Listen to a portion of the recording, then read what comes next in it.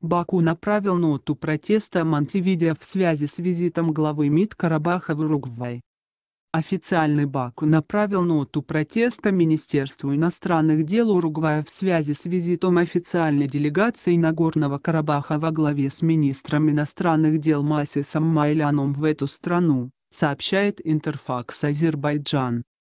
Как сообщает пресс-служба МИД Азербайджана, в ближайшее время посол Азербайджана в Уругвае намерен обсудить вопрос с представителями правительства этой страны возглавляемая министром иностранных дел Нагорного Карабаха Массисом Майляном делегация отправилась в Уругвай в начале недели.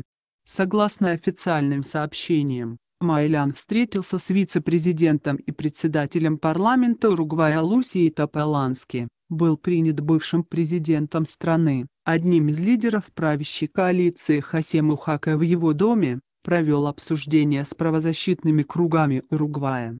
Глава МИД Карабаха также выступил с речью на мероприятии, организованном в столице страны Монтевидео по случаю 104-й годовщины геноцида армян.